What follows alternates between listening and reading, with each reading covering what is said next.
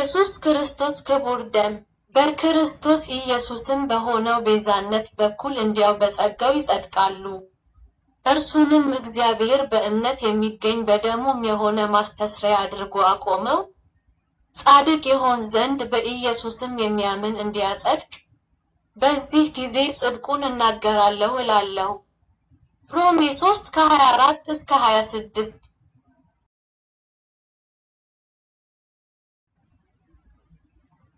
ሲበሉም ኢየሱስ እንጀራን አንስቶ ባረከ፣ ቆርሶም ለደቀ መዛሙርቱ ሰጠና፣ ይህ ሰውነቴ ነው።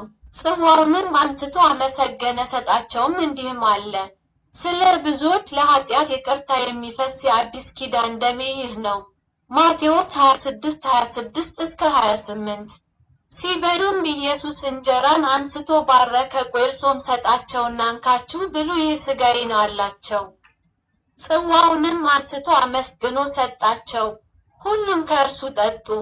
ይህ ስለ ብዙዎች የሚፈስ የአዲስ ኪዳን ደሜ ነው አላቸው። ማርቆስ 14 ከ22 እስከ 24 ስለ እናንተ የሚሰጠው ሥጋዬ ይህ ነው፣ ይህን ለመታሰብዬ ያድርጉት ብሎ እንጀራን አንስቶ አመሰገነ፣ ቆርሶም ሰጣቸው። እንዲሁም ከእራት በኋላ ጽዋውን አቅርቡ ይህ ጽዋ ስለ እናንተ በሚፈሰው በደሜ የሚሆን አዲስ ኪዳን ነው። ሉቃስ 22 ከ19 እስከ 20 ኢየሱስም እንዲህ አላቸው፣ እውነት እውነት እላችኋለሁ የሰውን ልጅ ሥጋ ካልበላችሁ ደሙንም ካልጠጣችሁ በራሳችሁ ሕይወት የላችሁም።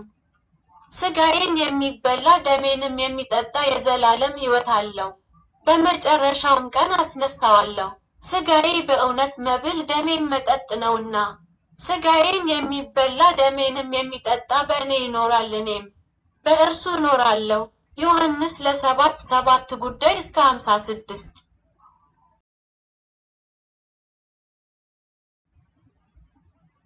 ስለዚህ እኔ ከሰው ሁሉ ደም ንጹሕ እንደሆኑ ዛሬ እመሰክርላችኋለሁ። የእግዚአብሔርን ምክር ሁሉ ነግሬአችኋለሁና በገዛ ደሙ የዋጃትን የእግዚአብሔርን ቤተ ክርስቲያን ትጠብቋት ዘንድ መንፈስ ቅዱስ እናንተን ጳጳሳት አድርጎ ለሾመባት ለመንጋው ሁሉና ለራሳችሁ ተጠንቀቁ። የሐዋርያት ሥራ 20 ከ26 እስከ 28 ይልቁንስ እንግዲህ አሁን በደሙ ከጸደቅን በእርሱ ከቁጣው እንድናለን። ሮሜ አምስት ዘጠኝ የምንባርከው የበረከት ጽዋ ከክርስቶስ ደም ጋር ኅብረት ያለው አይደለምን?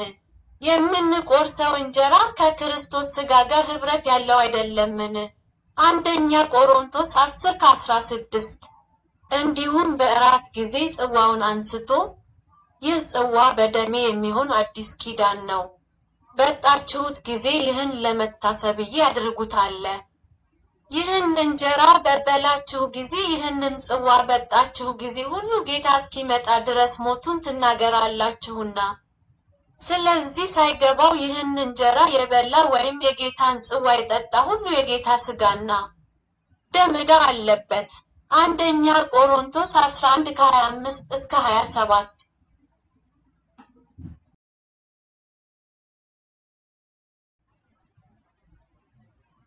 በጎ ፈቃዱ እንደወደደ ለራሱ ልጆች ልንሆን አስቀድሞ በኢየሱስ ክርስቶስ ወስኖናል። ለጸጋው ክብር ምስጋና ይግባውና ይህን በተወደደው እንድንማረክ አድርጎናል። በእርሱም በደሙ የተደረገ ቤዛነታችንን አገኘን። እርሱም የኃጢአት ስርየት እንደ ጸጋው ባለጠግነት መጠን ኤፌሶን አንድ አምስት እስከ ሰባት አሁን ግን እናንተ በፊት ርቃችሁ የነበራችሁ በክርስቶስ ኢየሱስ ሆናችሁ በክርስቶስ ደም ቀርባችኋል። ኤፌሶን ሁለት ከአስራ ሶስት በብርሃን ከቅዱሳን ርስት እንድንካፈል ያበቃንን አብን እያመሰገንንን ከጨለማ ስልጣን አዳነን፣ ወደ ፍቅሩ ልጅ መንግሥት አፈለሰን፣ በእርሱም ቤዛነት አግኝተናል። በደሙም የኃጢአት ስርየት ነው። ቆላሴስ አንድ ከአስራ ሁለት እስከ አስራ አራት በእርሱም ሁሉን ከራሱ ጋር ያስታርቅ ዘንድ በመስቀሉ ደም ሰላም አደረገ፣ በምድርም ቢሆን በሰማይም ቢሆን በእርሱ እላለሁ። ቆላሲስ አንድ ከሀያ እንግዲህ ልጆቹ በሥጋና በደም ስለሚካፈሉ እርሱ ደግሞ ከእርሱ ተካፈለ። በሞት ላይ ስልጣን ያለውን በሞት እንዲያጠፋው ይኸውም ዲያብሎስ ነው። ዕብራውያን ሁለት ከአስራ አራት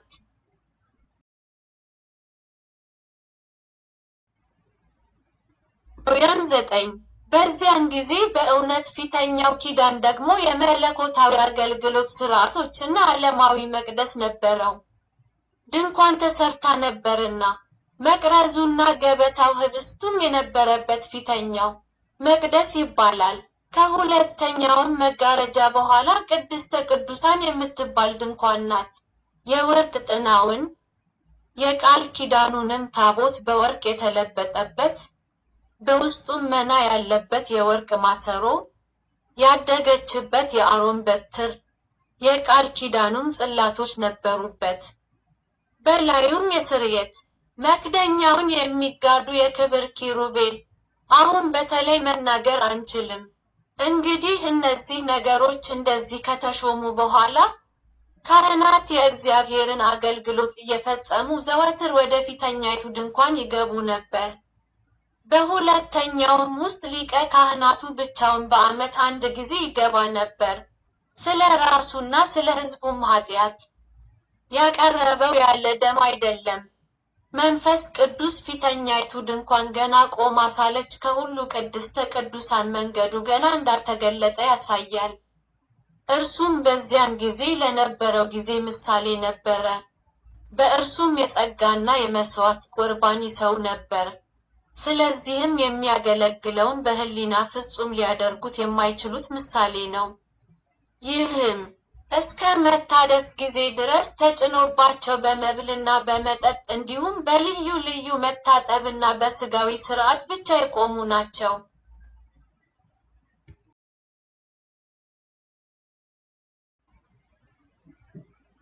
ክርስቶስ ግን ሊመጣ ላለው መልካም ነገር ሊቀ ካህናት ሆኖ በምትበልጠውና በምትሻለው በእጆችን ባልተሰራች ማለት ለዚህ ሕንጻ ባልሆነች ድንኳን መጣ። የዘላለምን ቤዛነት አግኝቶ አንድ ጊዜ ፈጽሞ ወደ ቅድስት በገዛ ደሙ ገባ እንጂ በፍየሎችና በጥጆች ደም አይደለም። የኮርማዎችና የፍየሎች ደም በረከሱትም ላይ የተረጨ የጊደር አመድ ስጋን ለማንጻት የሚቀድሱ ከሆነ ነውር የሌለው ሆኖ በዘላለም መንፈስ ራሱን ለእግዚአብሔር ያቀረበ የክርስቶስ ደም እንዴት ይልቅ ሕያውን እግዚአብሔርን ልታመልኩ ከሞተ ሥራ ሕሊናችሁን ያነጻ ይሆን? ስለዚህም የፊተኛው ኪዳን በታች ያሉትን መተላለፍ ለመቤዠት በሞት ምክንያት የተጠሩት የዘላለምን ርስት የተስፋ ቃል እንዲቀበሉ እርሱ የአዲስ ኪዳን መካከለኛ ነው። ኑዛዜ ባለበት የተናዛዡ መሞት ደግሞ የግድ ነውና ሰዎች ከሞቱ በኋላ ኑዛዜ የሚጸና ነውና፣ ያለዚያ ኑዛዜው በሕይወት ሳለ ከቶ አይጸናም። ስለዚህም ፊተኛው ኪዳን ያለ ደም አልተቀደሰም። ሙሴም ትእዛዝን ሁሉ እንደ ሕጉ ለሕዝቡ ሁሉ ከተናገረ በኋላ የጥጆችንና የፍየሎችን ደም ከውሃም ከቀይም የበግ ጠጉር ከሂሶጵም ጋር ወስዶ መጽሐፍንና ሕዝቡን ሁሉ ረጨ። ይህ እግዚአብሔር ያዘላችሁ የቃል ኪዳን ደም ነው አለ።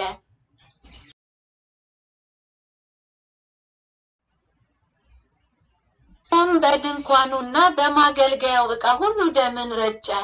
በሕግም ከጥቂቶች በቀር ነገር ሁሉ በደም ይነጻል፣ ደምም ሳይፈስ ስርየት የለም።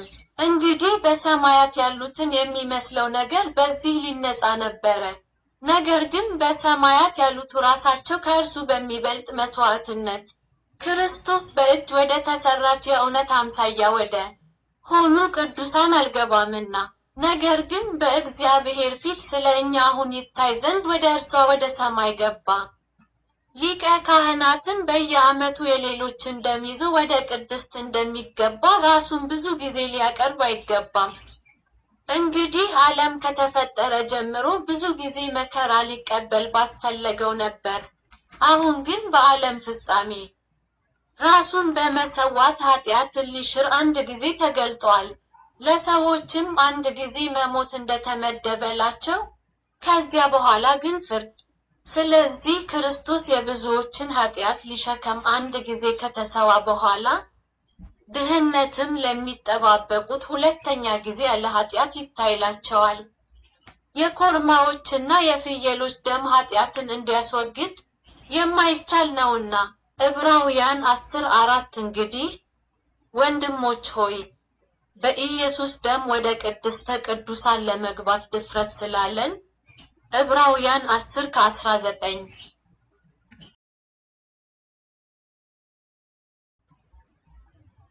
እግዚአብሔርን ልጅ በእግሩ የረገጠ እና የተቀደሰበትን የቃል ኪዳኑን ደሙን ርኩስ ነገር አድርጎ የቆጠረ እና መንፈስንም ያደረገ እንዴት ያለ ከባድ ቅጣት የተገባው ሆኖ ይቆጠርላችኋል። የጸጋው ዕብራውያን 10 ከ29 የአዲስም ኪዳን መካከለኛ ወደሚሆን ወደ ኢየሱስ ከአቤልም ደም ይልቅ የሚሻለውን ወደሚናገር ወደ መርጨት ደም ደርሳችኋል። ዕብራውያን 12 ከ24 ሊቀ ካህናቱ ስለ ኃጢአት ወደ መቅደሱ የገባው የእነዚያ አራዊት ሥጋ ከሰፈሩ ውጭ ይቃጠላል። ስለዚህም ኢየሱስ ደግሞ ሕዝቡን በደሙ እንዲቀድስ ከበሩ ውጭ መከራን ተቀበለ። ዕብራውያን 13 ከ11 እስከ 12 በዘላለም ቃል ኪዳን ደም ጌታችንን ኢየሱስን ከሙታን ያወጣው የሰላም አምላክ ፈቃዱን ታደርጉ ዘንድ በበጎ ሥራ ሁሉ ፍጹማን ያድርግላችሁ። በእርሱ ፊት በኢየሱስ ክርስቶስ በኩል ለእርሱ ከዘላለም እስከ ዘላለም ክብር ይሁን፣ አሜን።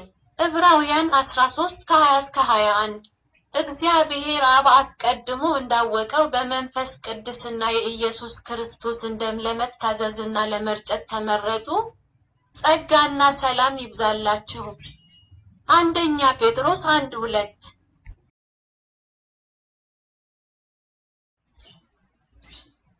አባቶቻችሁ ከወረሳችሁት ከከንቱ ኑሯችሁ በሚያልፍ ነገር በብርና በወርቅ እንዳልተዋጃችሁ ታውቃላችሁ። ነገር ግን ነውርና እድፍ እንደሌለበት እንደ በግ እንደ ክቡር በክርስቶስ ደም አንደኛ ጴጥሮስ አንድ ከአስራ ስምንት እስከ አስራ ዘጠኝ ነገር ግን እርሱ በብርሃን እንዳለ በብርሃን ብንመላለስ ለእያንዳንዳችን ኅብረት አለን። የልጁም የኢየሱስ ክርስቶስ ደም ከኃጢአት ሁሉ ያነጻናል። አንደኛ ዮሐንስ አንድ ሰባት በውሃና በደም የመጣው ኢየሱስ ክርስቶስ ነው። በውሃና በደም እንጂ በውሃ ብቻ አይደለም። መንፈስ እውነት ነውና የሚመሰክረው መንፈስ ነው። በሰማያት የሚመሰክሩት ሶስት ናቸው፣ አብ፣ ቃልና መንፈስ ቅዱስ። ሶስቱም አንድ ናቸው። መንፈስና ውሃ ደሙም የሚመሰክሩት ሶስት ናቸው፣ ሶስቱም በአንድ ይስማማሉ። የሰውን ምስክር ብንቀበል የእግዚአብሔር ምስክር ከእርሱ ይበልጣል። ስለ ልጁ የመሰከረው የእግዚአብሔር ምስክር ይህ ነውና። አንደኛ ዮሐንስ አምስት ስድስት እስከ ዘጠኝ ከኢየሱስ ክርስቶስም የታመነው ምስክር ከሙታንም በኩር የምድርም ነገሥታት ገዢ ነው። ለወደደን ከኃጢአታችንም በደሙ ላጠበን ለእግዚአብሔርና ለአባቱም ካህናት እንድንነግስ ስላደረገን ለእርሱ ከዘላለም እስከ ዘላለም ክብርና ኃይል ይሁን። አሜን። ራእይ አንድ አምስት እስከ ስድስት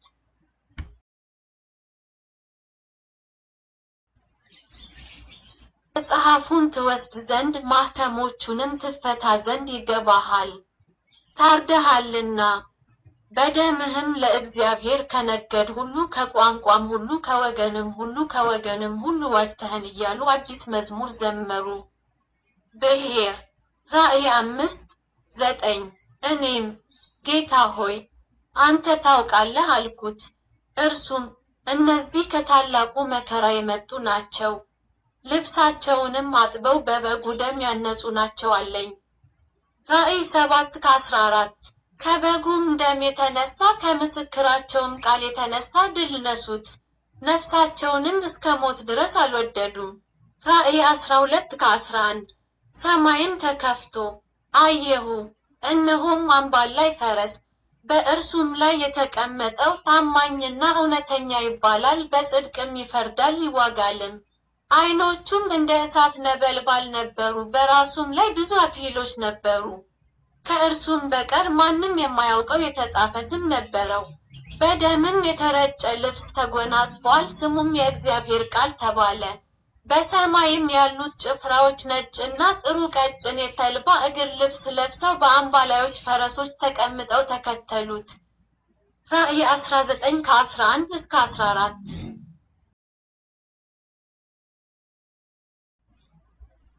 የክርስቶስን ደም በትኩረት እንመልከተው። ደሙ በእግዚአብሔር ፊት ምን ያህል ክቡር እንደሆነ እንይ። ለድህነታችን የፈሰሰው ለዓለሙ ሁሉ የንስሐ ጸጋን አግኝቷል። አንድ መልእክቲ ቀሌምንጦስ ወደ ቆሮንቶስ ሰዎች አራት አምስት ደግሞም ቀይ ገመድ ከቤትዋ እንድትስቃል ምልክት ሰጧት። በጌታችን ደም ለሚያምን በእግዚአብሔርም ለሚተማመን ሁሉ ቤዛ ይሆን ዘንድ በእርሱም ነዶ። ወዳጆች ሆይ እምነት ብቻ ሳይሆን ትንቢትም በዚች ሴት ላይ እንደነበረ ታያላችሁ። አንድ የመልእክተ ቀሌምንጦስ ወደ ቆሮንቶስ ሰዎች ስድስት ከአስር ደሙ ስለ እኛ የተሰጠን ጌታችንን ኢየሱስ ክርስቶስን እናክብር። አንድ የመልእክተ ቀሌምንጦስ ወደ ቆሮንቶስ ሰዎች አስር ስድስት በምጽዋት ጌታ ከራሱ ጋር ተባበረን። ጌታችን ኢየሱስ ክርስቶስ ስለ እኛ ከወደደው ፍቅር የተነሳ በእግዚአብሔር ፈቃድ የገዛ ደሙን ሰጠ። ስጋውን ለስጋችን፣ ነፍሱን ለነፍሳችን።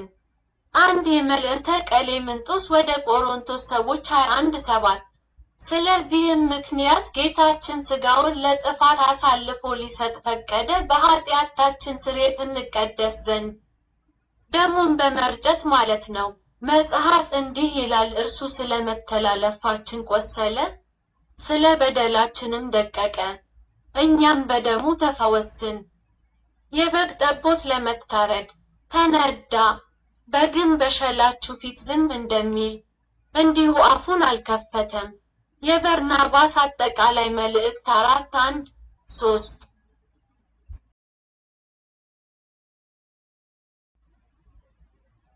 እግዚአብሔርን የምትመስሉ በክርስቶስ ደም ራሳችሁን እያነቃችሁ ለእናንተ ያለውን ሥራ ፈጽማችሁ ፈጽማችሁ።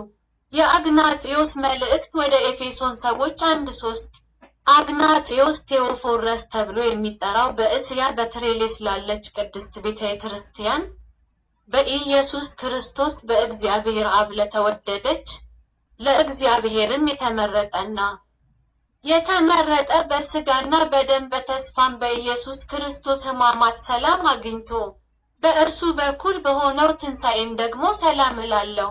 የኢግናጢዮስ መልእክት ወደ ትራሊያን ሰዎች አንዳንድ ስለዚህ የዋህነትን ለብሳችሁ በእምነት ራሳችሁን አድሱ፣ ይህም የጌታ ሥጋ ነው። በፍቅርም ማለት የኢየሱስ ክርስቶስ ደም ነው። የኢግናጢዮስ መልእክት ወደ ጥራሊያን ሰዎች ሁለት ሰባት የዳዊት ዘር የሆነ የኢየሱስ ክርስቶስ ሥጋ የሆነውን የእግዚአብሔርን እንጀራ እመኛለሁ። የምመኘው መጠጥ ደሙ ነው፣ እርሱም የማይጠፋ ፍቅር ነው።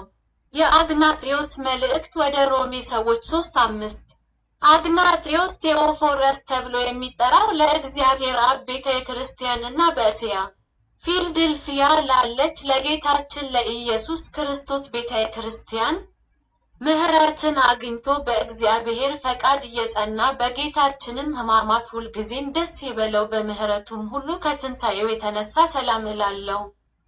ደስታ በተለይ ከኤጲስቆጶስና ከእርሱ ጋር ካሉት ቀሳውስትና እንደ ኢየሱስ ክርስቶስ አስተሳሰብ ከተሾሙ ዲያቆናት ጋር አንድ ቢሆኑ የጌታችን የኢየሱስ ክርስቶስ ሥጋ አንድ ብቻ ነውና በደሙም አንድነት አንድ ጽዋ አንድ መሰዊያ።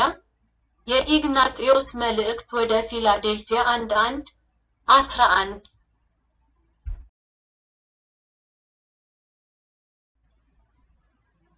በሥጋና በመንፈስ በጌታችን በኢየሱስ ክርስቶስ መስቀል ላይ እንደተቸራችሁ በማይንቀሳቀስ ሃይማኖት እንድትኖሩ አይቻለሁና በክርስቶስም ደም በፍቅር ጸንተዋል።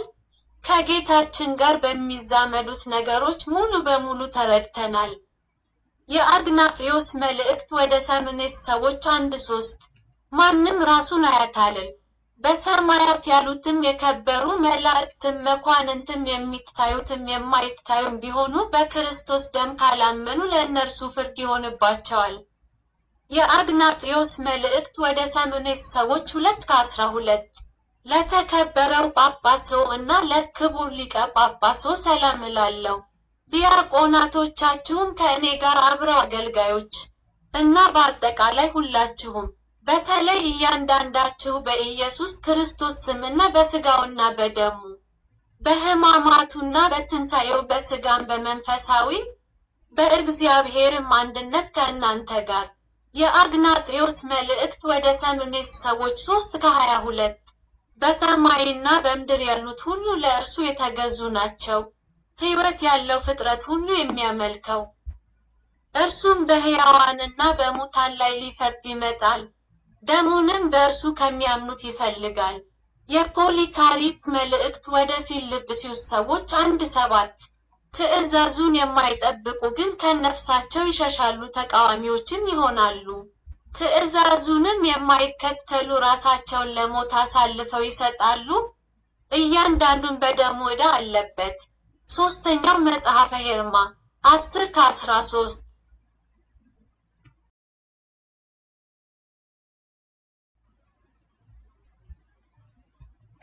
ይህን ለጲላጦስ ይነግሩት እንደሆነ እርስ በርሳቸው ተነጋገሩ። ገናም ባሰቡበት ጊዜ ሰማያት ሲከፈቱ አንድ ሰውም ወርዶ ወደ መቃብሩ ሲገባ ታየ። የመቶ አለቃውም ከእርሱም ጋር የነበሩት ይህን ባዩ ጊዜ ይመለከቱት የነበረውን መቃብር ትተው በሌሊት ወደ ጲላጦስ ቸኮሉ። ያዩትንም ሁሉ ነገሯቸው።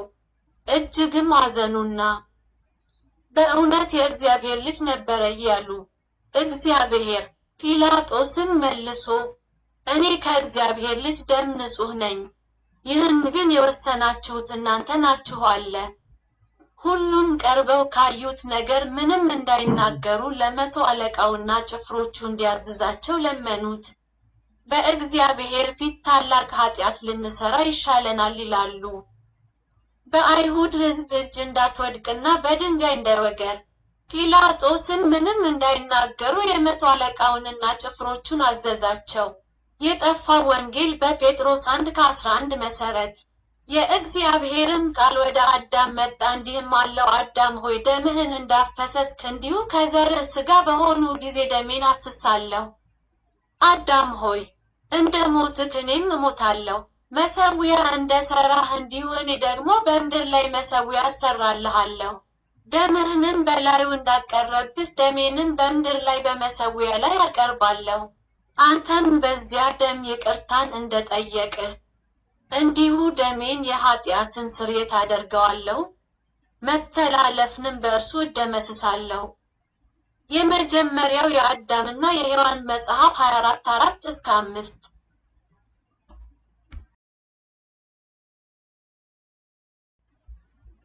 ዳግመኛም የምትፈልገው የሕይወትን ውሃ በተመለከተ ዛሬ አይሰጥህም። ነገር ግን በጎልጎታ ምድር ደሜን በራስህ ላይ ባፈስሁበት ቀን ደሜ በዚያን ጊዜ ለአንተ የሕይወት ውሃ ይሆናልና ለእኔም ለሚያምኑ ለዘርህ ሁሉ እንጂ ለአንተ ብቻ አይደለም፣ ለዘላለም ዕረፍት እንዲሆንላቸው።